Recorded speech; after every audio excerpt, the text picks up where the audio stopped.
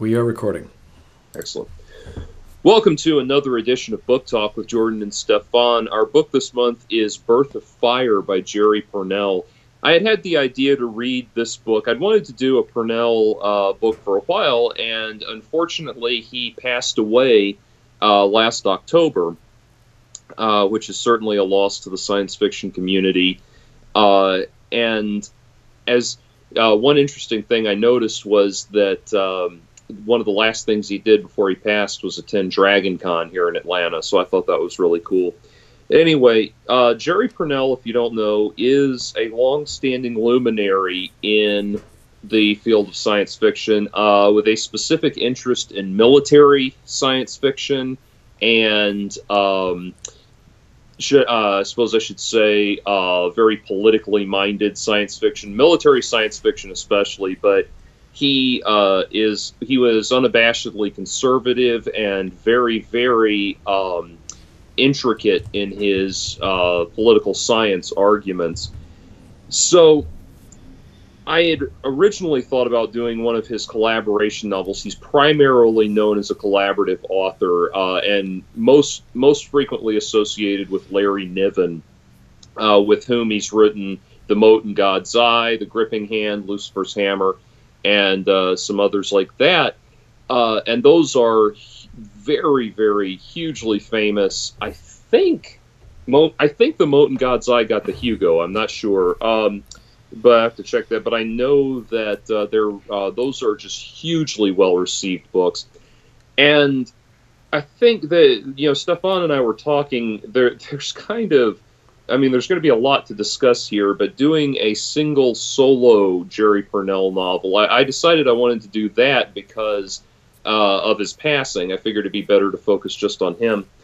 Uh, I have a I have here the uh, science fiction encycl- illustrated science fiction encyclopedia by uh, John Clute, and it is um, a, a, wonderful resource if you've not uh, if you've not read it uh, or not familiar with it. It's an excellent resource and uh, was useful to me as a kid, kind of finding you know this is pre-internet, uh, if you can believe that, trying to find out all of the major luminaries of uh, the of science fiction, and this was a great resource for that.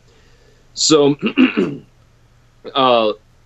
In the in the science fiction encyclopedia, illustrated encyclopedia of science fiction, it uh, has an entry for Larry Niven. It does not have a single entry for Jerry Pournelle. Hmm.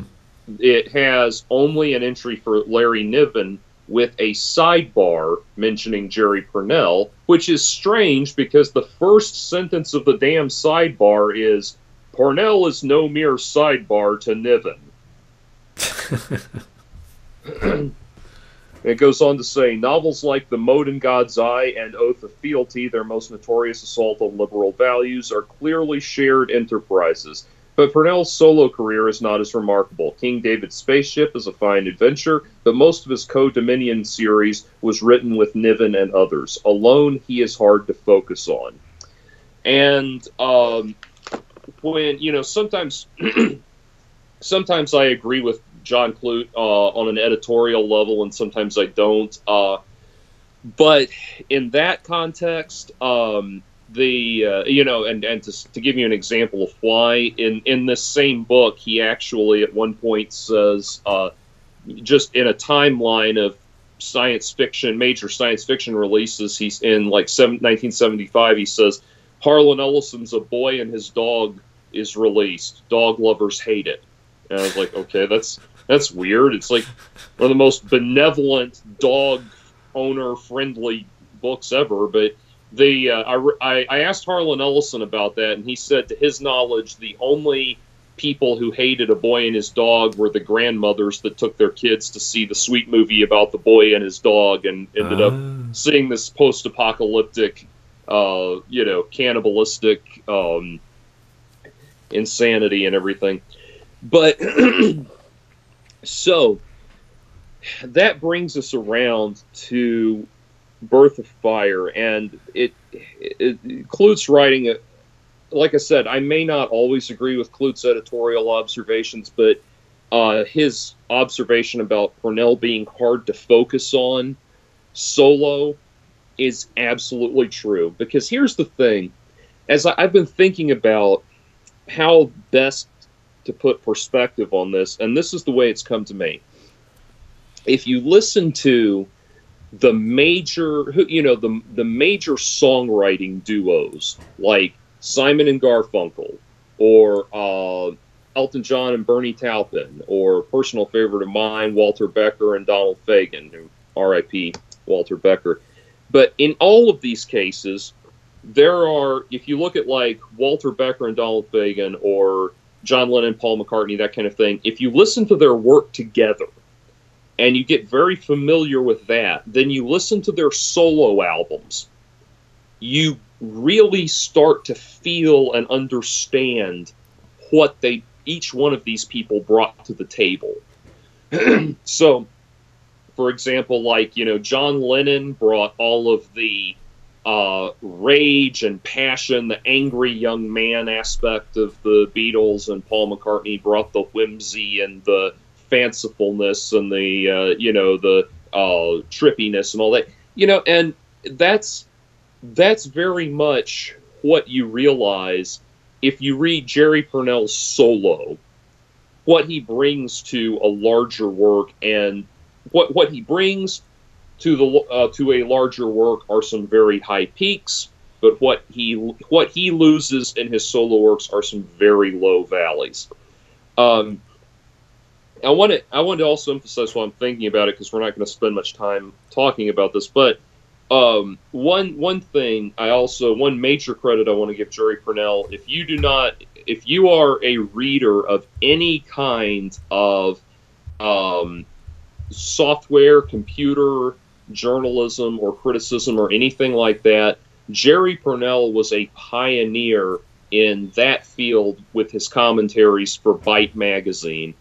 Um, and the the archives of his Byte magazine articles are uh, they're they're out there. You can find them. They're phenomenal, and those those really are good. There's also a hilarious uh, parody of his Byte magazine articles by Jerry Corwell that's uh, quite good. But anyway, so we come now to Birth of Fire, and I've been doing so much talking, and I'm going to let Stefan take over in just a second. But basically, put, uh, you know, we mentioned him being conservative. Well, oh man, this this book, this is the Adventures of Cliven Bundy in space. Uh, Stefan? It definitely feels like something that was written in the 60s and 70s, uh, mm-hmm. the time of Heinlein, the time of Roddenberry. There's there's definitely this frontiersman spirit to it, and that's that's cool. Like these are things that we think of when we think of colonizing Mars. the The problem is the setup for all the pieces, regardless of where it takes place. Like this could have been a story that took place anywhere because mm-hmm. the lack of detail or the lack of connecting detail of what was going on. Like I, I remember reading the story a, m- a month or two ago, and I was like, I'm coming back to, it, I was like, what, what happened? I don't recall exactly. Like stuff just happens. Yeah. So, so yeah. page one or, or page sixty or whatever, stuff will happen. Then the next paragraph they'll jump to another scene, and it's in mm-hmm. the same chapter. And you're like, why? Why did this happen? So yeah. yeah. It's very hard to follow. Now, the, the main idea is that there's a guy from Earth named Garrett, who's uh, he got into some trouble with a gang. His mm-hmm. lawyer says, "Okay, you're going to spend 20 years in jail for for a murder you didn't do, or you can go to Mars where they need help, and you can work in in indentured servitude. Essentially, he's basically a slave, mm-hmm. and uh, help out. You know, build the colonies up there." So he does that, which is kind of crazy because if you could have indentured servitude, you could have it on Earth.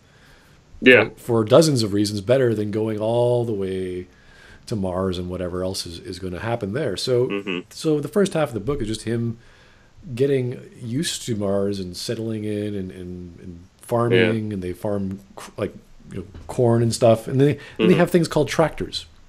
Yeah, and the tractors work under biodomes, mm-hmm. but apparently they also work outside. I didn't understand that because there's there's lots of scenes outside on the on the Yeah. surface of Mars and there's tractors. Like, why would you want tractors on the surface of Mars? Like, there's all these little things that don't Yeah. really add up when you start looking And- at the details. Yeah, and that's the thing is it's like uh, you know, if you if you really th- stop and think about that question, uh, why would you want tractors on the surface of Mars? The answer that you uh, kind of unfortunately come to is well because we need something. We're going to need something to move our militia around later in the book. You know. Yeah, it's it's really disconnected. So a lot of the scenes, a lot of the romance, a lot of the drama, all the ideas for setting up the idea for the, the, the plot is there. Like the, the plot makes sense. Like a go here to go there. We get we ended up get revealing some of it when it doesn't make sense. So it's not a, a bad plot, but all the things that that you hang from the plot are just sort of there for the sake of being there. hmm And it's like, okay, well, at near the climax of the story, it's like, okay, we got to go get some uranium, and you're like, why? So we can make a bomb. Why? So we can tell Earth and all the the the, the corporate, because I think Earth is now corporatist to, to hell. Everyone's uh, controlled by corporations. So you know, Mars is this this this bastion of freedom or whatever. Hmm And we, they got to send a signal, so they need a weapon, and they talk about how they're going to attack an Earth colony. It's like I, I don't know, like there's no mention of this. So what do they do? They built they they somehow they somehow build a bomb. And, Yeah. and the Yeah. person who ends up building it ends up being the love interest, and she's not even a, a scientist. She just she's just she's just there, and she can Yeah. somehow build a, a nuclear bomb. So it just it's a continuation of these scenes where it's like, oh, you can do this now. Oh, now we're going over here now. And now this is gonna happen. And it just keeps going on and on like that. Yeah. So there's Yeah, something and there- missing. And every single character in the book, every single character in the book sounds like they talk like this. It feels it feels like a frontier. It feels like Yeah. they're they're somewhere in, in some not quite space world, but it is space because they talk about tanks. But there's there's air tanks. There's there's hydroponic tanks. There's there's actual tanks. Yeah. like like like like mechanized infantry tanks, and you're like, oh, okay. Uh, and, and it's so strange because they're fighting this war with the federations or the feds, or because they own essentially own the the Mars uh, uh, colonies. So it's like, oh, great, okay, so we have to make a militia now to fight these guys, and our character gets involved in that, and Yeah. it, it's sort of this this strange uh, because he's the hero because he's the protagonist he gets involved and he can he can always push through things and then Yeah. there's there's a few number of women and the few number of women who are there end up uh, appreciating him or liking him more it's it's very odd how these scenes come Well, together Yeah, it's one of those. I mean, there there's a certain James Bond escapist element to it, with all, especially with the women, where it's like every single one of them is just immediately gaga for him, you know, and it's like, no, no, no, no. There's no. Uh, the and, and the thing, the main character that he falls in love with, uh, Erica, she's, um, it, it's literally like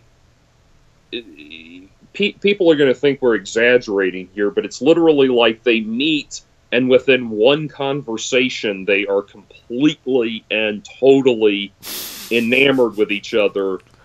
And there's literally no explanation as to why that just occurred. I mean it's it's literally like it, it, it it's almost it's it's almost like okay imagine if you are you you have a realtor showing you a house and she takes you and says, "Okay, this is the living room upstairs." Da da da da da. All this, and then you lean in to kiss her, and she says, "No, I've never felt this way before. We can't rush things." It's like it's literally that. It's like, oh my god. It, but it's not just with the drama; it's also with scenes. Like there's a scene. Yeah. There's this big scene where uh, Garrett has to take over a power station, and then in the next page over, it's oh by the way, all your Confederates they, uh, you know, they they they took not only that they took a base and they took a colony and they have all these tanks now, and you're like, whoa, what where did where did this all come from? So it's kind of Yeah, every every other scene is like that. It just it just ha- Yeah. things just happen, and you don't know why, and it drives Right. me nuts because I'm thinking there's got to be a lot of things like this is a this is a really cool idea where you're on you're you're on the frontier of Mars. You have this technology. It's not really explained. That's fine. I Mhm. don't care. Fine. You, you've got like ballistic uh, Elon Musk rockets, you know, that can go Yeah, yeah. across the planet. Yeah, okay, fine, whatever. Yeah, you got this stuff. You're not explaining it. I can, I can, I can go with you. But then, not only is that not explained, so is the scene itself, and then the next scene, and the next character, and then for some Mhm. reason the next character betrays you, and you're like, why?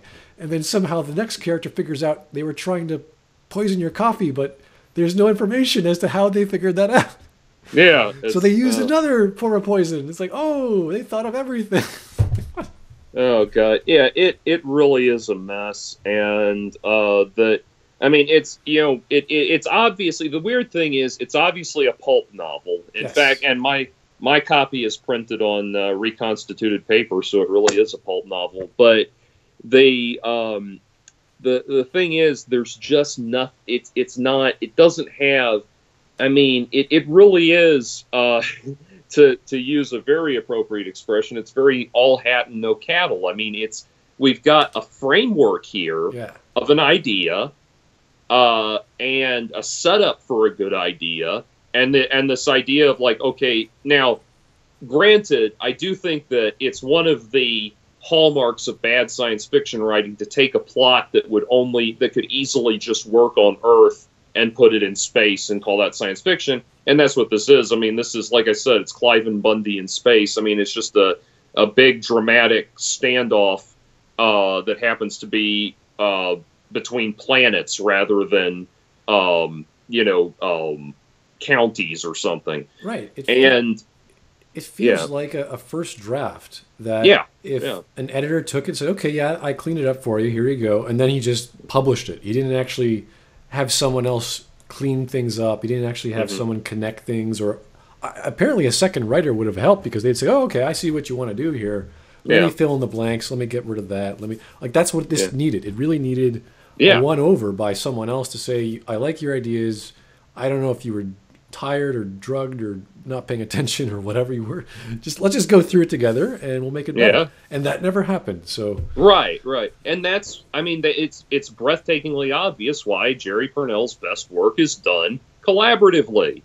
uh, so you know this is a guy who he loves the science and the engineering aspect of it, and uh, and and he uh, his background is actually in engineering, and um, he actually worked on the uh, Star Wars missile defense system under Reagan. So that Oh, gives wow. you an idea. I mean, yeah, that that aspect of his knowledge is uh, expansive to say the least. So this is a guy who he loves the science, the hard science aspect of it, and I think you know if I was going to see if this was appealing to anybody, you know we we all I think were fascinated by The Martian by Andy Weir, and uh, that is you know what makes that so fascinating is just the uh, the elements of human ingenuity and figuring out how to survive on this world. There are bits of that in this book, and I think anyone who liked that would enjoy that. But you would probably be better served just reading The Martian again, Yeah. uh, as opposed to this. I mean, it's to now, and and the thing is that the writing style. I mean, it's almost. I, I hate to say this. It's almost like he has no writing style because listen to listen to this. This is just a couple of paragraphs from the beginning of chapter two. Now, uh, okay, actually, you know what? No, I'm going to read you the last couple of paragraphs of chapter one. So this is where he's being given the offer to go to Mars. It says, um, um, uh, the person he's talking to says, "Yes, you can stay out of prison if you stay here, but you've got another, or you can't stay out of prison if you stay here." But you've got another option voluntary exile, transportation for life. I can arrange it for you. I didn't have to think about it. Not really. I already knew my answer. I had read about the colony program and how they needed more men. There had been a time or two back at Francis Scott Key when I'd toyed with the idea of shipping out as a volunteer. I, it sure as hell beat what, what I had coming here. Why not go to Mars? Where do I sign up? Okay. So this is now, this is the writing of the or the narration of a man who has just arrived on another planet for the first time in his life. Listen to how it goes. Mars is a bleak place, but it was exciting to be there just the same. They trooped us into a clear plastic dome where we got our first look at the outside. It was a big dome, a couple hundred feet across, and not at all safe, but they didn't tell us that. The thing that struck me most was the stars. It was the it was daylight outside, and all the sun. Although the sun looked a little small, it seemed about as bright as I remembered it being on Earth. The next thing I noticed was the sharp outline of the shadows. Mars boasted the darkest shadows I'd ever seen, although everything the sun hit was brightly lit. That was strange enough, but the stars got to me. I mean, and that's like, I, I guess you could say this is a this character Garrett. He's a simple man, or Yeah. he's, he's not a man of words, or that kind of thing. But I mean, you need to. It, it, it just yeah, it just feels like it, it feels like science fiction for good old boys. I mean, it really does, and it's yeah. There's there's all kinds of descriptions that I'm I'm kind of curious whether he didn't know or didn't care to look at the the science of the atmosphere of Mars or what have you. Uh, like there's there's Sarge wants to he's thinking of pumping in like oxygen into the atmosphere, which will make it like one tenth of Earth, and that'll be so you can get out of your suits. And I'm like, no, that's not going to work. You're not going to just pump oxygen into the atmosphere, and Yeah. then, and then that's it.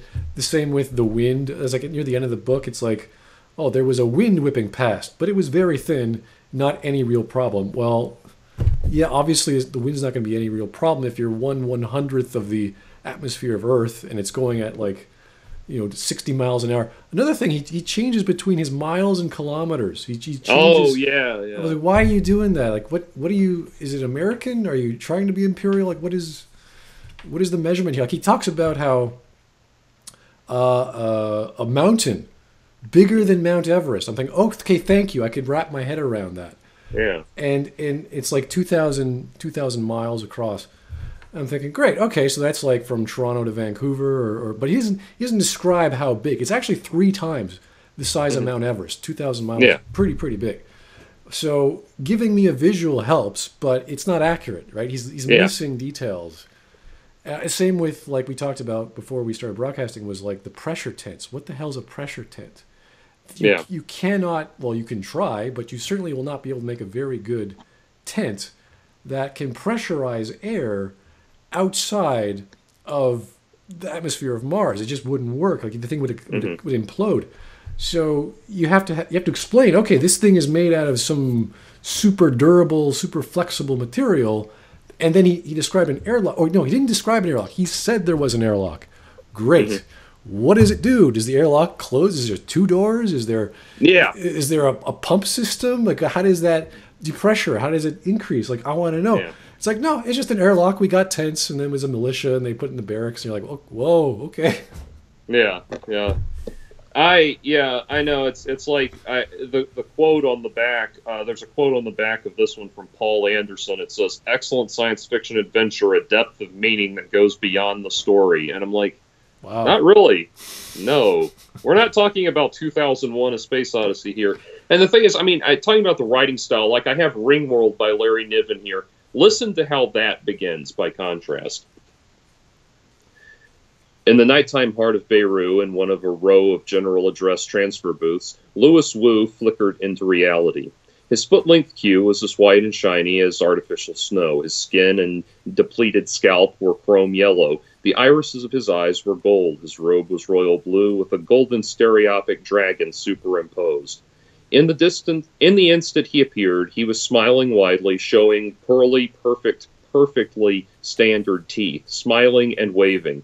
But the smile was already fading, and in a moment it was gone, and the sag of his face was like a rubber mask melting. Louis Wu showed his age. That's writing. That's literature. That's how description works. That's uh.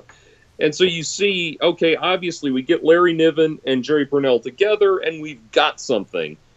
That oh man, yeah. Well, I- the sake of having to have more than one writer on a project just to make the other writer better is probably not a good collaboration. Yeah. Unless unless there's something about that guy who doesn't know how to write, but he has really great ideas. hmm And the idea of going to Mars and having a, uh, I guess this kind of scenario where who owns what? Or is there going to be a revolution? Are people going to make ownership of Mars? Is there going to be a break from Earth? That's I haven't really seen that uh, this early in science fiction. I'm sure it's it's probably even earlier. I just haven't read any books about that. So Mhm. historically, it's it's a fine idea. It's just trying to explain that in a way that is, in, is first of all is it first is it interesting to read, and is it worthwhile to read? That's where I'm having the problem of, of actually going Yeah. through this and saying, okay, I think I know what you're getting at here. I can't see it happening that way. And the same with this character. Okay, I think I get where this person's coming from. Why did it happen that way? Like the betrayal, I'm still sort of like, why? Yeah. Why did the betrayal happen the way it did? Out of Yeah. literally nowhere. Because again, events just happen. There's Yeah. no, there's no build up. It's like the next the next paragraph. Oh, and now he's unconscious. Yeah. Uh, and then it's just so awkward. It's like, did you, was this like a? It felt like more like a screenplay where there's there's a big bold or a big block of description of events happening in the background, and then there's dialogue, and then there's like mm-hmm. Bob said this, and then Mary says this, and da da da da, and then everything else happens in a scene. That's how I interpreted a lot of this because these paragraphs were just one big, sometimes one big block of dialogue, sometimes one big block of, block of description, and it was mm-hmm. so mundane. It was like, okay, well, I turned this on and I got into, into the suit and da, da, da. like, great, okay. And then now he's like, he's already traveled like five miles to where he had to go, and now he's already in Yeah. the, and it's within a span of four paragraphs. So Mm-hmm. it's it's a little jarring of pa- like pacing. I don't know if that's relevant. I don't know if you could say this because it's it's virtually a novel. I, I wouldn't call it Yeah. a full novel, but it's the size of a novel in between Mhm. that of a novella. And the pacing is is just like boom, I'm there, and boom, you're there, and you're like, no, Yeah. that's not pacing. That's teleportation. You're just you're just going from A to F, and then you're going somewhere down the line to Yeah. M or N. It doesn't work that way. Well, it's it's like it, it kept to me. It kept feeling like watching a B movie, where you know there are certain Yeah. B movies. Yeah, they're good B movies. Don't get me wrong, but there are you know so many B movies. It's just like you you you kind of like get a feeling like you don't really know why you're watching this movie. I mean, it's like a good movie should get you into the story, should take you out of yourself and make you care about the characters. And whereas with a B movie, like you're very conscious that you're seeing a movie, it's very formulaic, it's very stiff, it doesn't draw you in. That's what this was. I, I felt this could be an actually a pretty decent miniseries on TV on the Space Channel, and a lot of the visuals would convey, I'd say, Mhm. half, if not more than half, of the ideas he wants to Yeah. do, and then you'll you'll get like a, a dialogue writer or a director saying, okay, with this scene where she poisons you, this is what has to happen, or else we won't understand that. And he'd be like, oh, Mm-hmm. okay, and the actors would actually do that, and then you wouldn't have to have Yeah. dialogue or descriptions; it would just be visual. That could work. Yeah. Yeah, yeah. That it, it, it could work. So it's it, it part of it. Yeah, it's just not the right medium. Certain certain stories just don't need to be told certain ways. Um, what did you think of the politics in this? Because to me, I mean, I can you know uh, I can read stuff all across the board and appreciate uh, you know I I uh, you know it's kind of I with politics and we I, I bring this up because science fiction so often is thought of being thought of as being left of center um, or at least center left uh, in so, uh, in so many ways. But I, I'm interested in uh, you know science fiction that'll take a strong political a strong and well argued political stance in any direction. Um, that said in this you know I mean, my God, I consider myself a libertarian, but what the the world that they want to set up this uh, this ungoverned Martian world that they want to live in, it's like it, was summarized most effectively for me in one of the dialogues where one of the characters, uh, who remember everyone in this book sounds like they talk like this. Uh, one of the uh, characters says, "Heck, we don't." Is something like, "We don't need government inspectors. If you cook a bad batch of beer and it makes people sick, they'll." uh, make you drink a gallon of it and laugh at you. And I'm like, yeah, I think if I, you know what, I think if I make beer that makes you sick, I'd rather uh, pay your medical expenses and uh, let that be that. You know, it's like uh, you don't, uh, you you we I, you, you don't want to live. I understand wanting to live in a world with minimalist government. I don't want to live in a world that is run by vigilantes. You know. Well, there's a there's a scene at the end where they, they say, well, what happens if you remove who's in power and you put your friends in power and they don't do a good job? It's like, well, we'll get rid of them. It's like, oh, Yeah. okay, keep rebel. Yeah, constant another- rebellion. Yeah, Uh, yeah. Which I mean, weirdly though, there is if you think about Camus' arguments about revolution and rebellion, he's he he argued that that's that's all there ever will be. That that there will never be a utopian society. There will only ever be lulls between the rebellions, um, and um, the uh, and so that that could be the case. I didn't. I mean, his the thing is, I didn't find the premise particularly offensive. This is a this is presenting a sense of uh, you know the uh, sort of economic conservatism, is business conservatism is what they want. They want the government to stop right. taxing them into poverty. They want the government to stop um, regulating the uh, the hell out of them. These are all things that you can make a reasonable and um, a reasonable case for without abandoning, uh, say, more socially liberal values, and that's why I consider myself libertarian. But um, it, it doesn't. It, it feels like though what they want um, it, you know what what they're implying or what he's implying is that once you live in this world this this uh, frontier world of random vigilanteism where everybody you know the whole basis of their morality is we're Marsmen and our word is good. And it's like you know which anytime you hear someone say something like that you just want to punch him you know? It's like if, if your word is good you don't have to tell me well, the, I, I think they still, I, as far as I understood the, the protagonist, he actually still wanted, or they he still expected the, the corporations to set up shop on Mars, or else yeah. the farmers wouldn't eat, like they wouldn't have an economy. So they yeah. still want, they still wanted that aspect, which is, you know, right. That's fine. That has nothing to do with government, but yeah, they still want trade relations. That's oh, yeah. understandable. Exactly, but they want to get rid of all the other stuff that where the federal, the feds come in and, and with tanks and whatever and, and yeah. and destroy things and take things over. So mm-hmm. that was fine. I was like, all right, that's that makes some sense. I understand mm-hmm. where they're going with that. So yeah. it wasn't it wasn't so much a focus on that because he was pretty much his own military with uh, mm-hmm. the guys there who ended up rebelling anyway. And once the bomb goes off, it's like, oh, then everyone's going to start rebelling. So mm-hmm. I, I, guess that was the idea was that there mm-hmm. has to be an event which yeah. causes people to say, ah, we have individual authority to do what we like. Mm-hmm. We're going to band together and go against whatever, and and still have relations with Earth on on, a, on an independent way. Fine, okay, great. That that was yeah. good enough. But getting to that point was a little yeah confusing because there were the militia, there was the the makeup of the penal colony, then there was the feds who came in then there were the other colonies that, like the universities and, and all the other mm-hmm. corporations that were involved. So mm-hmm. there were a lot of organizations. They didn't really quite explain mm-hmm. where or what they were doing because they all had their own motivations, which is fine. Mm-hmm. Yeah. But it, wasn't as clear as, okay, now the university is with us. Okay, now we took over that colony. Now they're with us. It was just like, oh, now we mm-hmm. took over this colony. Yeah. Now yeah. what? Yeah. Well, it's there were so many there were a lot of questions i had like about that like you've had at this point people who are native to mars. They were born on mars and so that means they've lived inside these tightly knit containment facilities their entire life and i'm thinking shouldn't like nearsightedness be a problem? I mean shouldn't these be almost like mole people after a few generations you know that kind of thing? Yeah the, the yeah. sunlight the radiation uh, yeah. The the suits like there's only like two kinds of suits, and there's the generic mm-hmm. kind that fits everyone, which isn't very good, and then there's the working kind, of the pea suits. Mm-hmm. So yeah, there's there's a lack of detail that you would expect mm-hmm. from a science fiction story on those things yeah. alone.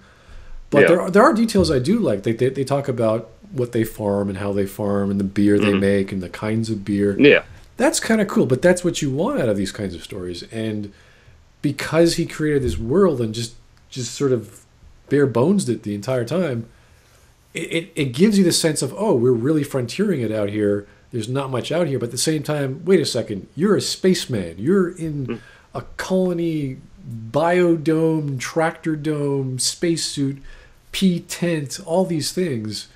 Mm-hmm. And it's just sort of assumed that mm-hmm. we know what's going on and what these things are.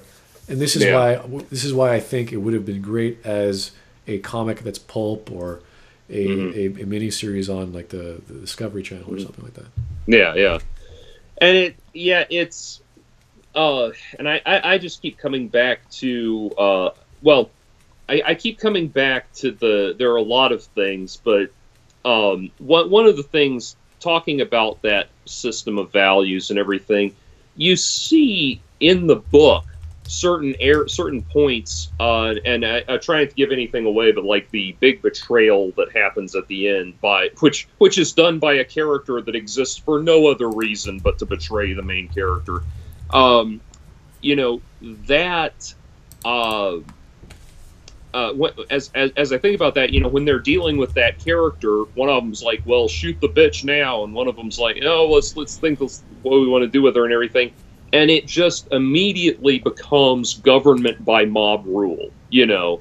And that's that's the thing is it's like uh you, you know they they don't want they don't want the government ganging up on the colony in a large group or in large numbers but they want to be yet they want to be left alone so that they they can gang up on each other internally in small numbers and it's just an impossibly it's an impossible to sustain model. And i mean it's just throughout i'm not gonna i don't want to spend the entire an entire podcast or spend hours and hours talking about what should you know what what i think about the holes in this political theory. But one of the things i read about Jerry Pournelle uh, in his writing is someone said that he likes to he likes to present a series of uh, events that lead to a politically incorrect solution and challenge the reader to tell him where he was wrong in coming to that conclusion. Yeah. Well, I, as as I'm looking at this, I mean, this I, I not only can I.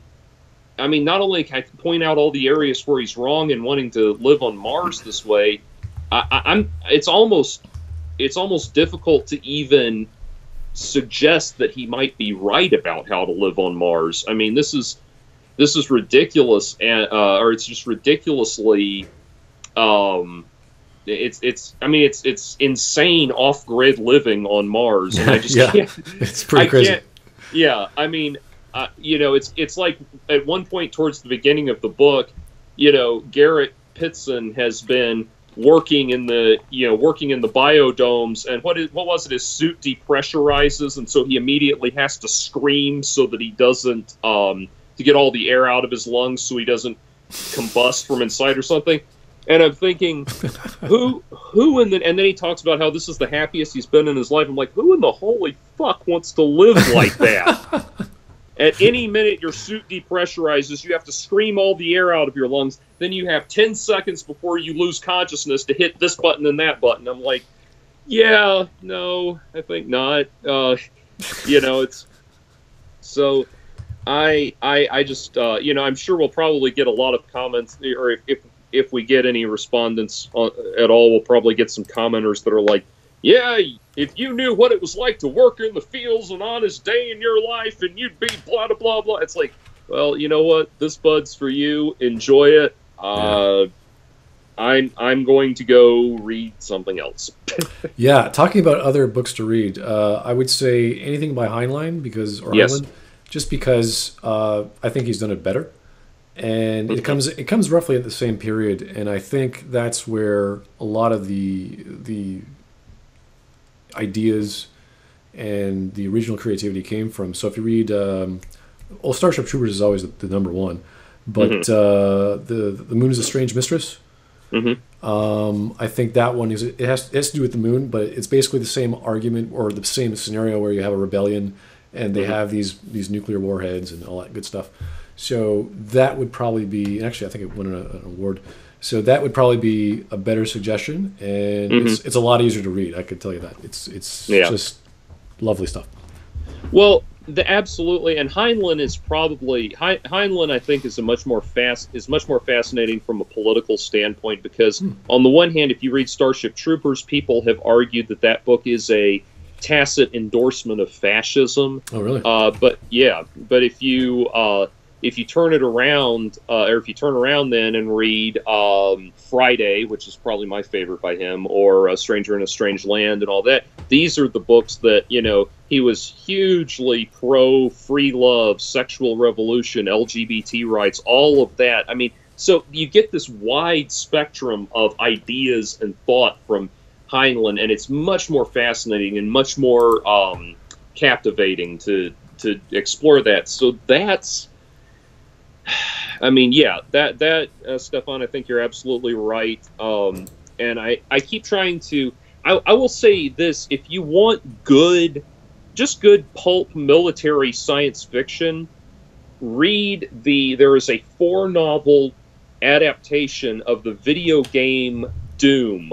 That's D O O M Doom, not Dune like Frank Herbert, but Doom, the video game, the computer game we all grew up with there is a four novel adaptation written by Dafydd Ab Hugh and Brent Linaweaver, and that is actually really well uh, well done. In fact, I've got uh, hang on just one second. As I'm sitting here, I look over on my bookshelf, which uh, if, if anyone who's seen my videos knows my bookshelf is, uh, you know, um, slightly slightly larger than um, uh, Wembley Stadium. But uh, okay, so like this is just the description for the the jacket copy for Doom Infernal Sky, which is the third book in the series. Hawaii, the last outpost of colonization on, on an Earth overrun by demons, traitors, and nightmarish creatures straight out of the pits of hell. Humanity seems doomed to a bloody ending. Then Hawaii receives a message from aliens claiming to be on our side in the battle. Our last chance, make contact. The only man for the job, Corporal Flynn Taggart, U.S. Marine Corps, fly to his friends.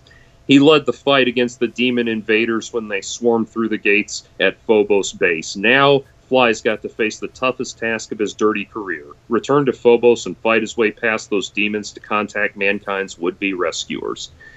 Okay, that's interesting, you know?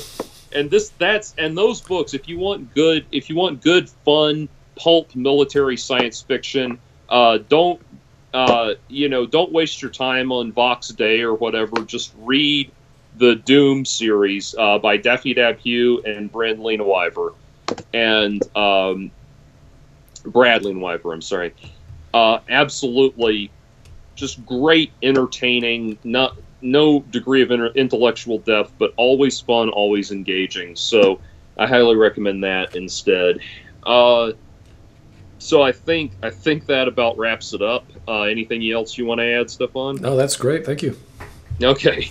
Um, next month or next time, uh, rather, we will be doing um, Thunderhead by Neal Shusterman, which yes, two thumbs. Up. Stefan's giving me two thumbs up. Yeah, which because oh my god, like first of all, Scythe was one of our favorite, one of the I, one of our mutually favorite books in the book talk series that we've done. We love that, and then Thunderhead is the sequel to that, and um, it's uh, I've been reading that one concurrently. I'm almost done with it, and I'm reading been reading that concurrently with uh, Birth of Fire, and the difference is just oh god, night and day. It's oh man, yeah. Um, but anyway, so that will be next time, and uh, then following that, we will be doing uh, My Friend Dahmer by Derf Backderf. All right, peace out.